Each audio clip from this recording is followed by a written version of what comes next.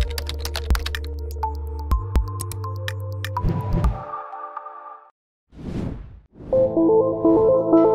Zimski meseci poslednjih godina u Subotici ne donose sneg, čistoću i belinu. Ovde sneg nije padao u većim nanosima, već dugo klima se promenila, pa tako redko kad možemo da uživamo u reskoj svežini zimskog vazduha. Čađ, smog, magla obavijaju gradu kome se 12.000 domaćinstava greje loženjem i predstavlja najvećeg zagađivača u zimskom periodu. To su mahom domaćinstva koja su na periferijama grada, ali za sada bez alternative za grejanje tokom hladnih meseci. Podatak koji kaže da se posledica zagađenja zagađenosti vazduha Srbija nalazi na prvom mestu po broju smrtnih slučajeva, poražavajuće je i potrebno je što pre učiniti nešto pod hitno kako bi se ova crna statistika promenila. Beograd je odne ubedljivu pobedu prošle zime kao najzagađeniji grad u svetu. Na tribini u Inspira Hubu koja je održana juče jedina tema je bila kakav vazduh udišu građani Subotice. Odgovor nije bio iznenađujući. Ovo su takođe merači koji pokazuju određene parametre i u principu pokazuju realno kada zagađenje postoji, onda je, to tako. I a, kada budemo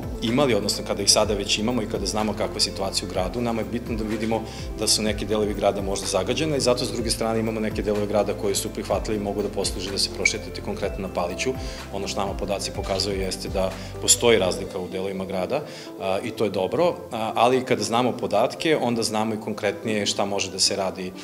na temu sprečavanja zagađenja u budući i kako može i grad, naravno, koji je na to najsposobniji da uradi, ali mi kao organizacija da pomognemo. Da li su to neke neke tehnološke inovacije, ali s druge strane mislim da je pre pomoć gradu u edukaciji građana i informisanju kako da se ovaj problem reši. Ovo je prva faza uh, i ti merači nisu jeftini, a opet kažem nisu toliko skupi kao državni, državni su zaista, oni koji koriste zapravo država su zaista skupi, ovi nisu nedostižni, ali za sada smo pokrili samo Suboticu, uh, ali jeste cilj da pokrijemo i ostala mesta zato što nama značajno i, i građani koji žive u okolnim mestima takođe uh, ne udišu sigurno drugačiji vazduh od ono kako je Subotica. Naš najbolji indikator vazduha jesmo mi sami kad izađemo i kad vidimo i kad osetimo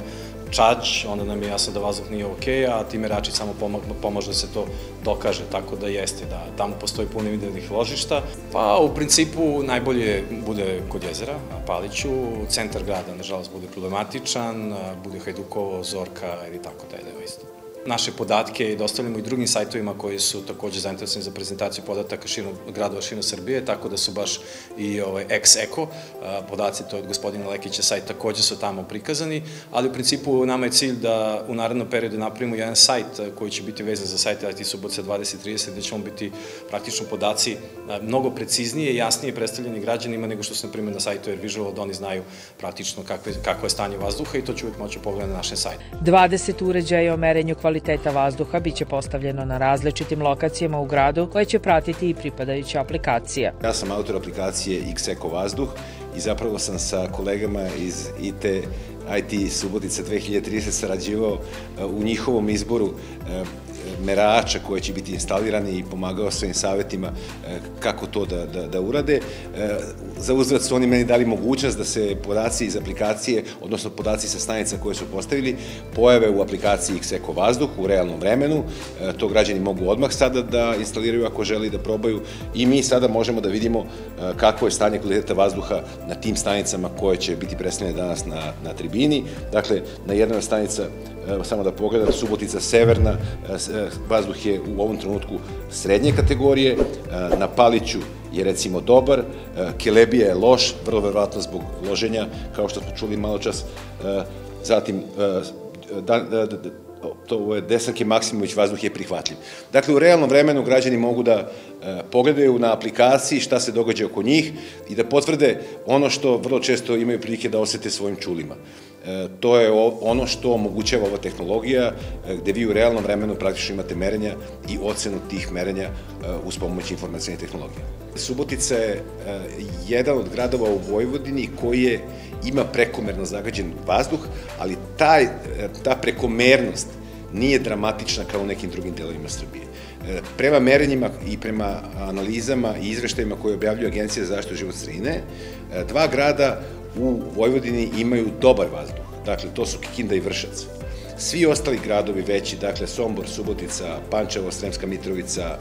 i tako dalje, naravno uključujući Novi Sad, imaju blago preko, prekoračeno zagađen vazduh, i e, to je mnogo bolja recimo situacija nego u ostatku Srbije. Za red veličine e, više zagađen vazduh imaju mnoga mesta u Srbiji, e, mogu da nabrojim, dakle Novi Pazar, e,